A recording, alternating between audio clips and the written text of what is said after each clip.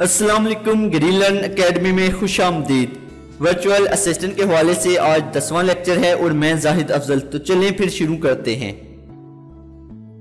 दोस्तों, आज Greenland academy की जानब से ये दसवां लेक्चर है और इस लेक्चर में हम ऑर्डर को मैनेज कैसे करते हैं रिटर्न ऑर्डर को मैनेज कैसे करते हैं और कूपन्स के बारे में मालूम हासिल करेंगे। सबसे पहले हम कूपन्स को देख लेते हैं। दोस्तों, कोई भी प्रोडक्ट हो, उसकी मार्केटिंग स्ट्रेटजीज में ये स्ट्रेटजी भी होती है स्ट्रेटजी होती है कि हम उस प्रोडक्ट को ज़्यादा से ज़्यादा सेल लाने के लिए कूपन्स का, को जनरेट करते हैं। कूपन्स आप किसी भी तरह से आप इस्तेमाल कर सकते हैं, यानी कि कोई भी बंदा उसको छूट दे देना कि अगर वो ये वाला कूपन्स इस्तेमाल करता है तो उसको कुछ ऑफ़ कर देना, यानी कि कुछ छूट रकम में दे देना या फिर परसेंटेज में। तो उसको आज हम देखेंगे। जब आप अमेजोन सेलर सेंटर को लॉग इन कर लेंगे तो करने के बाद ऊपर जो मुख्तलिफ़ ऑप्शन आपको ज़ाहिर होना, होते हैं, सामने आते हैं। यहाँ पर एडवर्टाइजिंग का ऑप्शन होता है। तो आपने इस ऑप्शन में प्रमोशन को सिलेक्ट करना है प्रमोशन को। अब देखें एडवर्टाइजिंग के ऑप्शन में आप जब कर्सर लेकर जाएँगे, ये माउस का जो, ये एरो है हैंड वाला जो आपके सामने नज़र, इसके साथ ही आपको यहाँ पर प्रमोशंस नज़र आएँगे। इसको आपने क्लिक करना है। जब आप क्लिक करेंगे तो आपको सामने दो तरह के ऑप्शंस नज़र आ रहे हैं। दोनों के नीचे क्रिएट करिए लिखा हुआ है money off buy one get one buy one get one यकीन आप जानते हैं, हम मनी ऑफ़ को देखेंगे जो आमतौर पर बहुत ज़्यादा कूपन इस्तेमाल होता है, यही इस, यानी कि इस्तेमाल किया जाता है इसी ऑफ़र को। तो हम इस चीज़ को देखेंगे। अब मनी ऑफ़ को देखने के लिए हम क्रिएट पर क्लिक करेंगे। जब हम क्रिएट पर क्लिक करेंगे तो इस तरह के ऑप्शंस आपके सामने ज़ाहिर होंगे। अब हमने एक एक ऑप्शंस को देखते हैं कि ये क्या है। अब देखें, सबसे जो पहला स्टेप है, वो कहते हैं कि कंडीशंस अब हमने कंडीशंस बतानी है कि किस सूरत हाल में ये कूपन अप्लाई हो। कौन सा कस्टमर इसके काबिल हो कि वो ये कूपन इस्तेमाल कर सके? हमने शराइत बतानी है कि ये कूपन किस सूरत में अप्लाई हो। तो ये देखें, सबसे पहले वो पूछता है आपसे कि बायर परचेजेस तो यहाँ पर हमने बताना होता है कि कौन सा बायर है जो इस क्वालिफाई होगा जो उसका जिस, जो ये कूपन इस्तेमाल कर सकेगा। कौन सा कस्टमर हमारा कौन सा ग्राहक ये इस कूपन से फ़ायदा उठा सकेगा? ये हमें शर्त रखनी पड़ेगी, ये हमें शर्त बतानी पड़ेगी। अब देखें, यहाँ पर जब आप क्लिक करेंगे तो आगे आपको दो, तीन तरह के ऑप्शन नज़र आते हैं। आपने ये दो तरह के ऑप्शन जरा देखिए कि सबसे पहला जो है वो है एट लीस्ट अमाउंट कि इस कम से कम इतनी रकम हो तो ये कूपन वो इस्तेमाल कर सके। अगर हम इसको सिलेक्ट करते हैं एटलीस्ट अमाउंट जहाँ पर हमें अमाउंट देनी पड़ेगी। एक रुपया रखेंगे तो जो भी बंदा एक रुपये या उससे ज़्यादा की चीज़ खरीदेगा आपके स्टोर से तो वो ये कूपन इस्तेमाल कर सकेगा। आप अगर 500 की शर्त रख देते हैं तो कोई भी बंदा जो 500 की चीज़ खरीदेगा, उसके लिए है ये कूपन। अगर आप चालीस, चार हज़ार की रख देते हैं तो चार हज़ार से अबव या चार हज़ार तक अगर कोई शॉपिंग करता है आपके स्टोर से तो वो ये कूपन इस्तेमाल कर सकेगा लेकिन अगला ऑप्शन है at least this quantity of items यानी कि इतनी मकदार में अगर कोई चीज़ें खरीदता है तो ये कूपन वो इस्तेमाल कर ले। ये एक ऑप्शन देखिए यहाँ पर अगर हम लिखते हैं कि तीन अगर कोई आपके स्टोर से तीन प्रोडक्ट्स खरीदता है इस सक, इसका कोई मतलब नहीं कि वो कितने पैसों की या कितनी चीज़ों की है। लेकिन अगर वो तीन चीज़ें खरीदता है तो ये कूपन वो इस्तेमाल कर सकता है। हम अमाउंट से ही जाते हैं एटलीस्ट अमाउंट पर। यानी कि यहाँ पर हम लिख देते जो ज़्यादातर इस्तेमाल करते हैं लोग, एक हज़ार हम कर देते हैं कि अगर कोई एक हज़ार से अबव की चीज़ खरीदता है या उसके बराबर तो ये कूपन वो इस्तेमाल कर ले। इससे, इसके बाद वो पूछेगा परचेज आइटम्स कौन सी खरीदी गई आइटम्स पर ये कूपन अप्लाई होगा, लागू होगा। तो यहाँ पर देखिए, आपको दो ऑप्शन ही नज़र आएँगे। वो ये कि सिलेक्ट एनदर एंटायर कैटलॉग अभी हम इंटायर कैटलॉग को सिलेक्ट करेंगे सिलेक्ट अनदर जो सिलेक्ट अनदर है, उस, उसमें हम जाएँगे, हम देखेंगे कि वो कैसे हम एक मखसूस आइटम को, का इंतहाब करते हैं, वो भी हम देखेंगे। लेकिन अभी के लिए हम ये देखते हैं कि इंटायर कैटलॉग पर अप्लाई करते हैं, यानी कि इन्वेंट्री में जितनी भी हमारी प्रोडक्ट्स हैं, हमारी जितनी भी स्टोर पर प्रोडक्ट्स हैं, उन सब पर ये अप्लाई हो। तो ये हमने एक इंतहाब कर लिया। जब आप इसका इंतहाब कर लेंगे तो उसके बाद वो आप आपसे पूछेगा बायस गेट्स के जो कस गाहक है, वो क्या हासिल करेगा इस कूपन से। हमने शराय शर्त बता दी। हमने ये बता दिया कि कौन कौन से प्रोडक्ट्स पर अप्लाई हो ये कूपन उसके बाद वो पूछता है कि गाहक इस कूपन को इस्तेमाल करने के बाद क्या हासिल करेगा। इसमें भी दो तरह के ऑप्शन आपको नज़र आएँगे आमतौर पर। Amount off percentage percent off देखिए अमाउंट ऑफ़ का मतलब है कि आप पैसों में रियायत दें। अगर हम इसको सिलेक्ट करते हैं तो यहाँ पर आपने पैसों में रियायत देनी है। मिसाल के तौर पर आप कहते हैं कि सात सौ रुपए की मैं छूट दे देता हूँ। कोई भी बंदा हज़ार की, हज़ार रुपए से अबव का ऑर्डर करता है कि सात सौ की मैं छूट दूँगा। सात सौ की आप जब छूट देंगे तो तीन सौ रुपया बचेगा पीछे। वो आपके अकाउंट में आएगा। अगर आप कहते हैं कि कोई भी हज़ार की चीज़ खरीदता है, मैं सौ रुपया ऑफ़ दूँगा, सौ रुपये की उसको बचत दूँगा तो आपने यहाँ पर हज़ार की शर्त रखी, यहाँ पर सौ की रख दी शर्त। लेकिन ज़्यादातर लोग परसेंट ऑफ़ का ही रखते हैं। अगर देखें, यहाँ पर वो हज़ार की अगर चीज़ ले रहा है तो आप कहते हैं कि मैं उसको ऑफ़ करूँगा टेन परसेंट भी। वही यानी कि आप यहाँ पर एक परसेंट का लें, यहाँ पर आप कह लें कि मैं पाँच परसेंट की उसको छूट दूँगा। ये परसेंटेज के हिसाब से बता रहा है अब, ठीक है? अमाउंट और परसेंटेज इनमें आपने बताना है। अगर आप पैसों में छूट देना चाहते हैं तो पैसों में दे। अगर आप चाहते हैं कि मैं परसेंट ऑफ़ में देना चाहता हूँ कि परसेंटेज के इतनी परसेंटेज ऑफ़ उसको कर दूँगा। अगर वो इससे अब ऑर्डर करता है ये आप करने के बाद अप्लाइज टू कि किन आइटम्स पर ये अप्लाई हो यकीन ये आप परचेज आइटम जो खरीदेगा वो आइटम ठीक है? एक मखसूस कैटेगरी भी आप रख सकते हैं, ठीक है? लेकिन अभी हम परचेज आइटम देखें कि वो जो चीज़ खरीदेगा उस पर ये अप्लाई अब हमने शराइ यहाँ पर तमाम देख ली। हमने बायर परचेजेज पर भी देख लिया। हमने अमाउंट लगा दी कि इस अमाउंट से अबव का ऑर्डर होगा तो तभी ये, यानी कि इस अमाउंट के बराबर या अबव का ऑर्डर होगा तो ये पहली शर्त है। दूसरी शर्त क्या है कि ये इंटायर कैटलॉग यानी कि जितनी भी हमारी चीज़ें हैं, उन्हीं में से आइटम हो। यानी कि ये तो सिंपल सा ठीक है। इसके बाद आता है कि बाइज क्या हासिल करेगा? आपने बता दिया कि वो पाँच परसेंट ऑफ़ हम उसे देंगे। पाँच फ़ीसद उसका जो टोटल बजट बनेगा टोटल वो बिल बनेगा, पाँच फ़ीसद उसमें से हम उसको छोड़ देंगे। इसके बाद हमने ये भी बता दिया और फिर हम एडवांस ऑप्शंस पर देखें। इस, इसमें ये होता है कि आप इंटर कैटलॉग यहाँ पर सेलेक्ट किया है तो आप किसी एक आइटम को छोड़ना चाहते हैं तो वो आप उसको छूट, निकाल सकते हैं उस इंटर कैटलॉग के ऑप्शन से। यानी कि आप कहते हैं कि ये जो आइटम है, इसको मैं इस ऑफ़र में नहीं रखना चाहता। तो ये हम बाद में देखेंगे सिलेक्ट एनदर में जाएँगे तो यहाँ पर देखें, एक ही ये बनाना पड़ता है, वो हम बाद में देखते हैं, ठीक है? इसको फ़िलहाल यहाँ पर।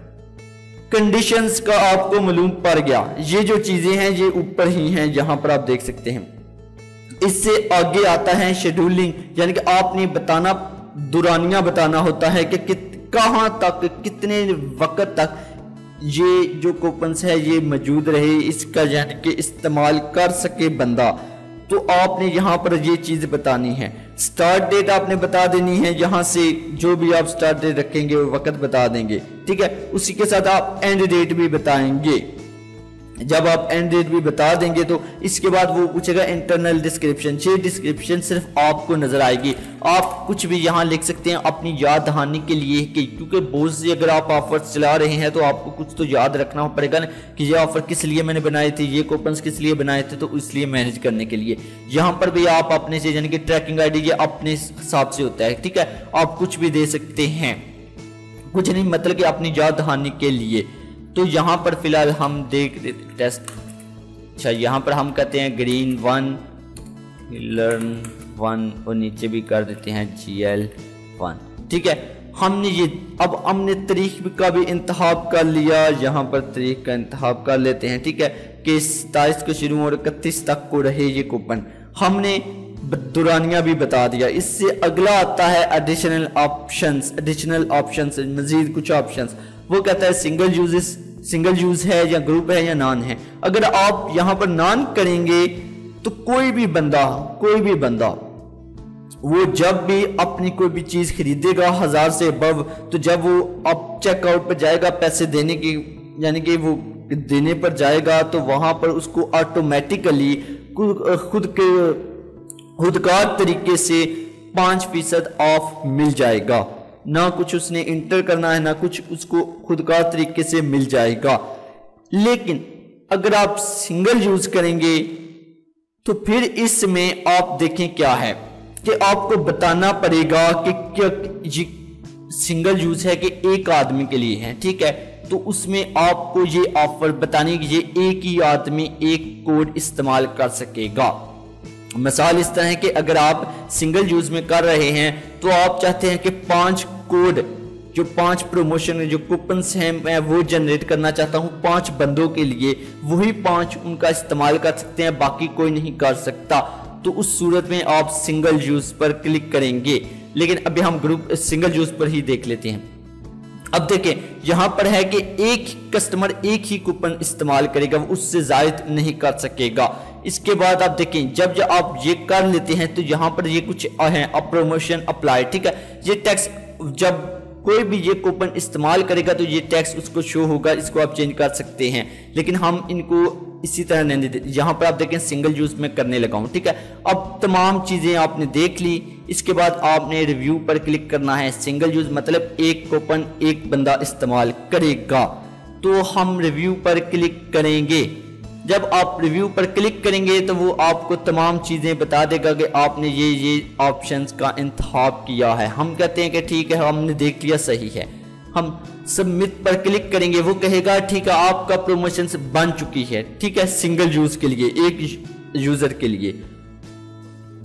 अच्छा जब आप ये वाला कूपन बना लेंगे तो उसके लिए, इसको आप मैनेज करने के लिए प्रमोशंस पर जाएँगे तो यहाँ पर मैनेज योर प्रमोशंस होगा, यहाँ पर आप जाएँगे, यहाँ पर आप क्लेम कोड के हवाले से क्लिक करेंगे अच्छा डेट रेंज के हवाले से क्लिक कर डेट रेंज के हिसाब से सर्च करेंगे, क्योंकि हमने डेट क्या रखी थी, सत्ताईस, इकतीस तक था तो सर्च करेंगे तो हमारे सामने जो हमने ये बनाया होगा, ये कूपन उस वो पहले तो डिस्क्रिप्शन आ रही है, ये हमें, हमारे लिए हमें नज़र आएगी। ट्रैकिंग आईडी आ रही है कि इससे हम अपने को, अपनी प्रमोशन को ट्रैक कर सकते हैं। इसलिए ज़रूरी है कि बाद में हम भूल ना जाए। यानी कि इससे हम अपनी जो प्रमोशन चल रही है, उसको हम देख सकें। अब देखें, जब आप इस इस पर क्लिक कर कर आएँगे, जहाँ पर मैनेज क्लेम्स के हवाले से आप मजीद कूपन भी जनरेट कर सकते हैं। मिसाल के तौर पर हमने पहले पाँच के, पाँच कूपन निकाल चुके हैं जहाँ से। हम कहते हैं कि G L A J to के नाम से, और हम कहते हैं कि इस बार हम दस कूपन दस लोगों को ये ऑफ़र ये कूपन देंगे। हम टेन लिखते हैं तो इसी, बिल्कुल इसी तरह यहाँ पर जे टू आ गया डाउनलोड किया, इसको भी, और इस, इसको भी आपने एक्सट्रैक्ट करना है इस फ़ाइल को। वहीं पर आप, जब इसको आप कर लेंगे तो डाउनलोड पर आए, और यहाँ पर आप देखें, ये कूपन्स चाहिए। वही कूपन पाँच हैं, इस बार दस किए थे तो दस होने चाहिए, ये दस कूपन है, ठीक है? आप इनको भी उठाकर, यानी कि बिल्कुल इसी तरह दे सकते हैं। ये तो था सिंगल यानी कि सिंगल यूज़र के लिए कि एक आदमी एक कूपन इस्तेमाल करे। अब हम बात करते हैं ग्रुप कूपन की। उसके लिए भी वैसा ही तरीकाकार है, हम प्रमोशंस पर जाएँगे। वैसे ही क्रिएट वन पर क्लिक करेंगे, वैसे ही हम शराइत रखेंगे, कुछ भी इस बार हम रख देते हैं कि अमाउंट अच्छा इस बार क्वांटिटी पर रख देते हैं कि कोई भी पाँच आइटम्स खरीदे हमारी तो उस पर। अब देखिए, यहाँ पर इंटायर कैटलॉग ही किया, हम परसेंटेज ऑफ़ नहीं, इस बार अमाउंट ऑफ़ देते हैं कि हम उसको तीन सौ रुपये की छूट देंगे। तो इसी के साथ हमने यहाँ पर नीचे आए स्टार्ट डेट और एंडिंग डेट का इंतब किया हमने। यानी कि यहाँ पर दुरानिया से दुरानिया के ऑप्शन में शेड्यूलिंग में हमने यहाँ पर ग्रुप का ऑप्शन सेलेक्ट किया। अब देखिए ग्रुप का ऑप्शन जब हम पहले सिंगल यूज़ किया था, अब हम ग्रुप का ऑप्शन सेलेक्ट करेंगे। ग्रुप का ऑप्शन हम जब सेलेक्ट करेंगे तो वो कहेगा कि क्लेम कोड यहाँ पर वो आपको बता देगा कि जो भी बंदा ये कूपन इस्तेमाल करेगा, उसको छूट मिल जाएगी तीन सौ रुपीज़ की। अगर वो पाँच आइटम से ज़्यादा खरीदता है तो ये को, कूपन, ये कूपन आप किसी को भी दे सकते हैं। इसको आप चेंज मतलब कि यहाँ पर ये था कि एक कूपन एक आदमी के लिए है। एक दफ़ा इस्तेमाल हो गया, दूसरी दफ़ा इस्तेमाल के काबिल नहीं रहता। लेकिन यहाँ पर क्या है कि ये कूपन आप किसी को भी दे सकते हैं। कोई भी बंदा इस ऑफ़र से मुस्तफ़ हो सकता है। अब देखिए, ये ग्रुप है, आप इसे चेंज भी कर सकते हैं। चेंज इस तरह कर सकते हैं G L A one zero zero आप G L A three hundred की छूट G L A three hundred मैं कर देता हूँ यहाँ पर, ठीक है? तो आप ये चेंज भी कर सकते हैं। अब मैंने ये कूपन सिलेक्ट कर लिया G L A three hundred ठीक है? अब इसको देखेंगे। अच्छा नान जब हम सिलेक्ट करते हैं, उसका मतलब ये होता है कि ये कूपन कोई भी बंदा जो भी चीज़ें खरीदे, उस पर अप्लाई हो जाए बगैर कुछ लिखे, ठीक है? हम यहाँ पर आते हैं, दोबारा G L G L A three hundred लिखते हैं। हमने ये कूपन ग्रुप के लिए बनाया कि कोई भी बंदा ये वाला कूपन इस्तेमाल कर सकता है। तो हम रिव्यू पर जाएँगे, बिल्कुल वैसे ही। अच्छा यहाँ पर वो कह रहा है कि इंटरनेट डिस्क्रिप्शन इज़ रिक्वायर्ड तो यहाँ पर हम अच्छा ये कह रहा है कि क्लेम कोड आठ से बारह करेक्टर्स के दरमियान होना चाहिए तो हम यहाँ पर एक कोड बढ़ा देते हैं G L A three hundred कर देते हैं। तीन तीन छ ठीक है। हम इस तरह कर देते हैं G L A G L A three ठीक है। इसी हम एक, एक मिसाल के तौर पर ले रहे हैं ठीक है। हमने ये कूपन जनरेट करना है। अब हम देखें तमाम चीज़ें सही हैं वो आपको बता रहा है कि ये जो चीज़ें हैं, आप देख लें, ये क्लेम कोड है, जो भी ये कोड इस्तेमाल करेगा, वो इससे फ़ायदा उठा सकेगा। इसमें यही है कि ये एक ही कोड है। ये कोई भी बंदा इस्तेमाल कर सकता है इस तरीक से लेकर इस तरीक तक। यानी कि 18 तक ये 18 से शुरू होगा 18 पर ही खत्म हो जाए। ठीक है? हम कहते हैं ठीक है। हमने सबमिट कर दिया बिल्कुल वैसे ही। फिर हम जब मैनेज ऑर्डर पर जाते हैं, यहाँ पर आप देखें डेट रेंज के हिसाब से सर्च करना पड़ेगा। अच्छा view and modify your promotion ठीक है, ये तो वही हो गया ना कि हमारा एक ही कोड है जी आप कोड किसी को भी देंगे तो वो इस कोड के ज़रिए से आप वो इससे फ़ायदा उठा सकेगा। यानी कि जो भी बंदा ये कोड इस्तेमाल करेगा, उसको इस ऑफ़र से वो फ़ायदा उठाएगा। ये थे कूपन्स क्रिएट करने का तरीका।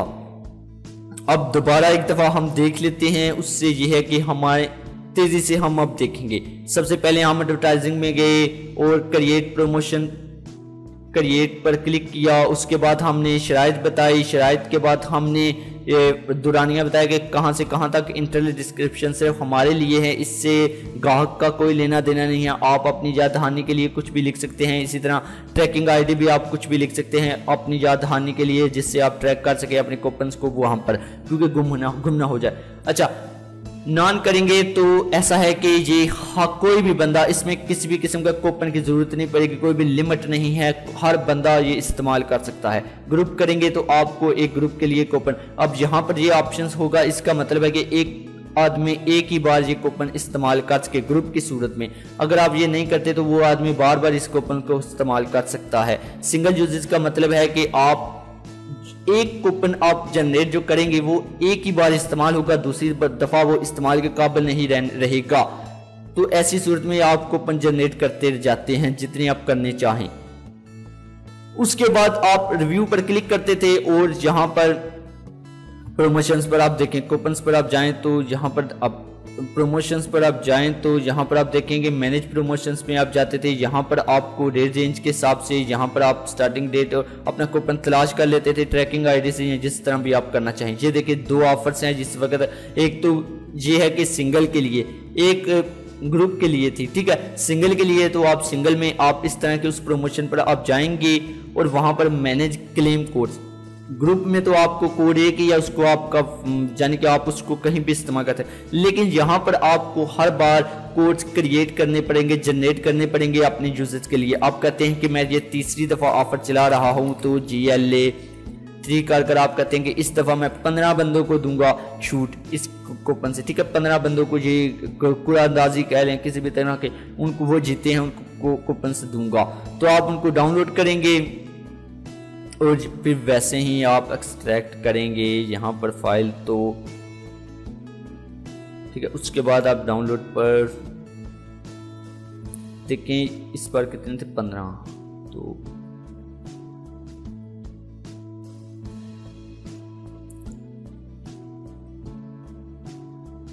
यही है। नहीं नहीं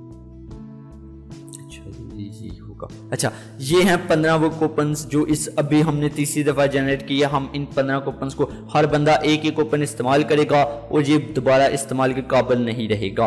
यकीन आपको प्रमोशंस के बारे में मालूम हो गई होगी तमाम तर।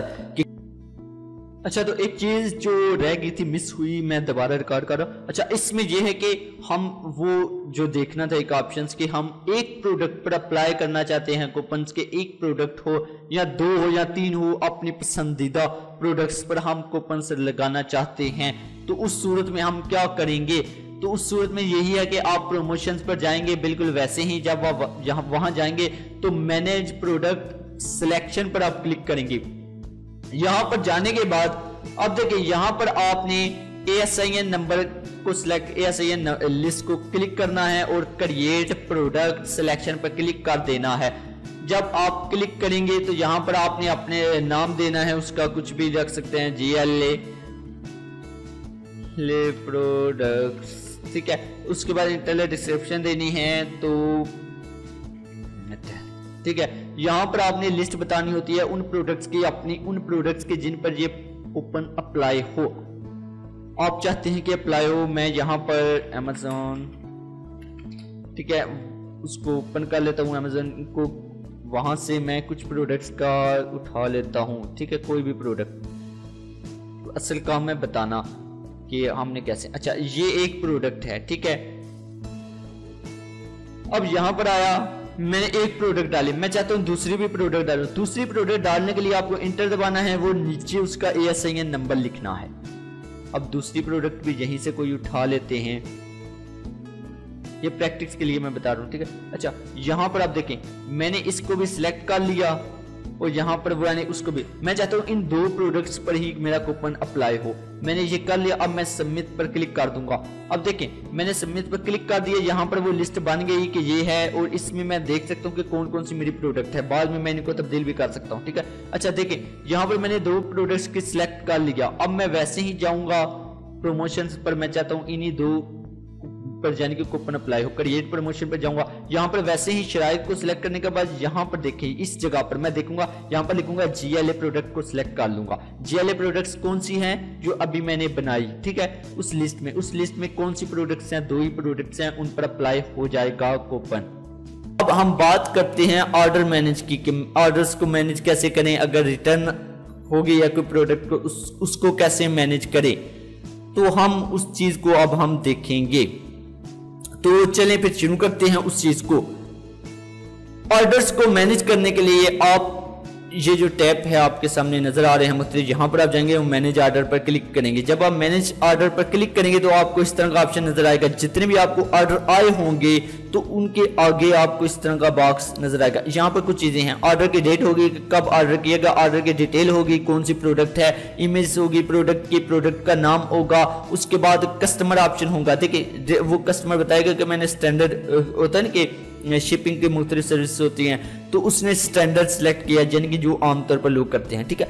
वो बताएगा कि शिप बाय डेट कि इस तरीक को आपको शिप कर देना चाहिए। यहाँ पर वो डेट लिखी होगी लिखा होगा डिलीवर डिलीवर बाय डेट यानी कि इस तरीक तक, ग्राहक तक पहुँच जानी चाहिए आपकी प्रोडक्ट ये अमेजोन अपनी तरफ़ वो बताएगा, ठीक है? ऑर्डर स्टेटस बताएगा कि आपने अभी तक ये प्रोडक्ट भेजी नहीं है। अब मैनेज ऑर्डर में ये वाले ऑप्शन है, हमने इनको एक एक करके देखना है, ठीक है? सबसे पहले देखें, हम अभी हम देखते हैं कि अगर आपको एहतियार है, आप ऑर्डर को कैंसिल कर सकते हैं। अगर आपके पास वो चीज़ नहीं है, ख़त्म हो गया, काफ़ी कुछ मसाइल हो जाते हैं बाजू का, ठीक है? आपको कैंसिल करना बन जाता है कि ऑर्डर आप कैंसिल कर सकते हैं कैंसिल ऑर्डर पर क्लिक कर अगर आप कैंसिल नहीं करना चाहते, यानी कि आप ऑर्डर को आगे लेकर चलना चाहते हैं, भेजना चाहते हैं तो आप प्रिंट पैकिंग स्लिप पहले प्रिंट करवाएँगे। जब आप इस पर क्लिक करेंगे तो एक पैकिंग स्लिप डाउनलोड होगी। Packing slip. अक्सर आपने अगर दराज से ऑर्डर किया होगा तो आपको मालूम होगा कि पैकिंग स्लिप क्या होती है। इस तरह की जो अक्सर पार्सल के बाहर लगाई जाती है। ऊपर नाम होता है, उस बंदे का तमाम वगैरह वो एड्रेस वगैरह होता है और रकम लिखी होती है कि इतनी रकम उससे वसूल करनी है, इस तरह की। तो वो आपने यहाँ से प्रिंट कर कर लेनी है और करने के बाद किसको भेजनी है? जो आपका, जिसका आप अकाउंट मैनेज कर रहे हैं उसको। अपलोड इनवाइस इनवाइस क्या होता है? अगर आप इनवाइस अपलोड करना चाहें तो कर सकते हैं। ये आमतौर पर ऑर्डर के बीच में डाल दी जाती है। ये इसी तरह कह लें कि आप इसमें बिल वगैरह, कि इसमें ये लिखा होता है कि आपने इस दुकान से ये वाली चीज़ इतने में खरीदी थी और ये तमाम रकम है, तमाम तारीख वगैरह लिखी होती है, ठीक है? वो अगर आप करना चाहें, ठीक है? अब ये तीन ऑप्शन आपने देख लिए। कैंसिल ऑर्डर कैंसिल कर सकते हैं। प्रिंट स्लिप वो आपको डाउनलोड हो जाएगी डायरेक्ट अपलोड वाइज आप अपलोड वाइज आप ये वाले, यानी कि इस तरह की होती है तो उसको आप अपलोड कर सकते हैं। अगर तो आप जिसका अकाउंट मैनेज कर रहे हैं, वो बंदा कहता है कि आप इनवाइस भी अपलोड करनी है तो आप कर सकते हैं, वो आपको देगा, ठीक है? वो आपको एक टेम्पलेट बनाकर दे देगा कि जो भी ऑर्डर करे, आपने वो प्रोडक्ट वगैरह का, जैसे कि यहाँ से नाम वगैरह देखना है उसका नाम देखना है और उस तमाम चीज़ें लिख कर तो अपलोड कर देनी है, ठीक है? अच्छा उसके बाद ऑप्शन आता है जो अहम है। ये दो ऑप्शन अहम होते हैं बाय और कन्फर्म और प्रिंट पैकिंग स्लिप ठीक है? इन्हीं को ज़्यादा इस्तेमाल किया जाता है। तो अब देखें कन्फर्म शिपमेंट अगर कन्फर्म शिपमेंट में ये है कि आपने कोई ऑर्डर भेज दिया है, आपने, आप, का मतलब ये है कि जिसका आप स्टोर मैनेज कर रहे हैं, उसने तो वो आपको कुछ मालूम फराम देगा। तो आपने कन्फर्म पर क्लिक करना है, यानी कि यहाँ पर कन्फर्म जहाँ पर शिफ्ट का और स्टेटस शो होने लग जाए। तो आप कन्फर्म शिपमेंट पर क्लिक करेंगे। जब आप कन्फर्म शिपमेंट पर क्लिक करेंगे, इस तरह के ऑप्शंस आपके सामने सामने आएँगे। वहाँ पर आपने कुछ चीज़ें बतानी है। प्रोडक्ट का तो ऊपर नाम वगैरह क्वांटिटी लिखा होगा वैसे। ये चीज़ें हैं जो आपने बतानी है। अब देखें, इन चीज़ों में क्या है? सबसे पहले आपने तरीक बतानी है कि आप किस तरीक को भेज भेजा है आपने अपना पार्सल वो आप बताएँगे, उसके बाद आप कैरियर सर्विस बताएँगे कि आपने किसके ज़रिए आपने भेजा है, जैसे लेपर्ड हो गया टीसीएस हो गया, इस तरह की मुख्तलि। उसके बाद आपने डिलीवरी सर्विस बतानी है यकीन स्टैंडर्ड ही आप लिखेंगे, वो तो कस्टमर ने भी बता दिया स्टैंडर्ड आपने चूज़ की, कि मतलब कि जो नॉर्मल आमतौर पर इस्तेमाल होते हैं। ट्रैकिंग आईडी ट्रैकिंग आईडी भी आपको वो फराम कर देगा। ट्रैकिंग आईडी का मतलब है कि जिस बंदे ने ये ऑर्डर किया, वो अपनी चीज़ को ट्रैक कर सके। वो यकीन करियर ऑफ़िस वाले ही बताते हैं। तो ये तमाम मालूम देने के बाद आप कंफर्म करते हैं। लेकिन लेकिन अगर आप जब ये सिलेक्ट एन ऑप्शन पर क्लिक करते हैं तो यहाँ पर आपकी वो करियर जो जो आपने सर्विस जिसकी ली है, वो नहीं है ऑप्शन तो आप अदर पर क्लिक करेंगे। जब आप अदर पर क्लिक करेंगे तो आपका उसका नाम भी देना पड़ेगा। उसका नाम उसका नाम देने के बाद सर्विस उसी तरह ट्रैकिंग आईडी देंगे, और वो देने के बाद आप कन्फर्म डिस्पैच पर क्लिक कर देंगे। तो यहाँ पर जो शिप का ऑप्शन वो स्टेटस शो होना शुरू हो जाएगा। ये तो थी इस सूरत में जब आप खुद कार तरीके से कर रहे हैं। ऑर्डर मैनेज उसी वक्त उसी उसी सूरत किया जाता है जब आप एफ़ बी एम कर रहे हो फुलफिल्ड बाय मर्चेंट कर रहे हो, ठीक है? अब देखें अगली जो ऑप्शन है बाय शिपिंग का। कन्फर्म शिपिंग शिपमेंट आपने देख लिया। अब बाय शिपिंग में क्या है? बाय शिपिंग जब आप क्लिक करते हैं तो आपके सामने बिल्कुल ऐसे ऑप्शन शो होना शुरू हो जाते हैं। ये जो आपको स्क्रीन पर नज़र आ रहे हैं, इसमें आपने जो अहम चीज़ें हैं वो देखें।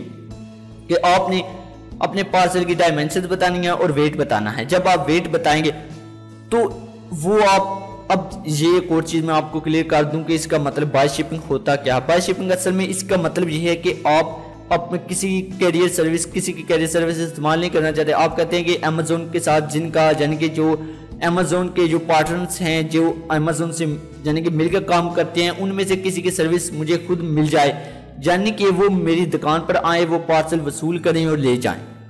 तो जो मैं सर्विस है शिपिंग फ़ीस है, वो मेरे अकाउंट से ही काट ली जाए। तो उस सूरत में आप बाय शिपिंग करते हैं। जब आप बाय शिपिंग पर क्लिक करेंगे, इस तरह का ऑप्शन आएगा चेंज पार्सल डायमेंशन आपने बतानी है, इसको सिलेक्ट कर फिर वेट आपने बताना है। देखिए, जब आप डायमेंशन और वेट बताएँगे तो वो आपको कुछ सर्विस देगा। वो कहेगा कि अमेजोन की ये भी सर्विस है, ये भी है, ये भी। इनकी मुख्तलिफ़ कीमतें हैं। आप इनमें से कौन सी इस्तेमाल करना चाहते हैं? तो आपने अब इनमें से कोई एक का इंतहाब करना है।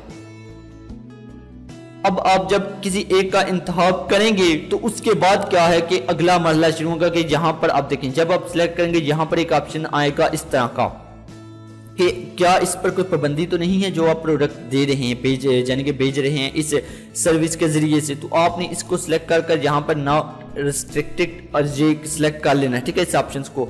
ना रिस्ट्रिक्टेड का मतलब यही है कि आप इस पर कोई इस तरह की पाबंदी नहीं है, कोई ये ऐसी प्रोडक्ट नहीं है जिससे यानी कि जिस पर पाबंदी हो, इस रॉयल मेल की तरफ़ से। अगर आप देखना चाहें कि किन किन प्रोडक्ट्स पर पाबंदी है तो आप रॉयल मेल के यानी कि इस चीज़ पर क्लिक कर कर देख सकते हैं, ठीक है? तो आमतौर पर तेज़ी से लोग यही सिलेक्ट कर देते हैं, क्योंकि उनको बार बार वो पढ़ते नहीं है। उनको पता होता है कि अपनी प्रोडक्ट का कि ये इस पर कोई पाबंदी नहीं है, आम कपड़ों वगैरह की होती है, आम चीज़ों पर, ठीक है? अब देखें, जब आप ये सिलेक्ट कर लेंगे तमाम ऑप्शन तो उसके बाद यहाँ पर ऑप्शन आएगा बाय शिपिंग का। वो आपको डिलीवरी चार्जेस बता देगा। आपने वो डिलीवरी चार्जेस आपके अकाउंट से ही कटेंगे। आपने बाय शिपिंग पर क्लिक कर देना है और जी जनाब तो आपकी शिपिंग में जो आपने बाय शिपिंग कर दी, अब वो बंदा, उनकी वो गाड़ी आएगी, वो आप उनकी दुकान से पार्सल वसूल करेगी और कस्टमर तक, ग्राहक तक पहुँचा देगी।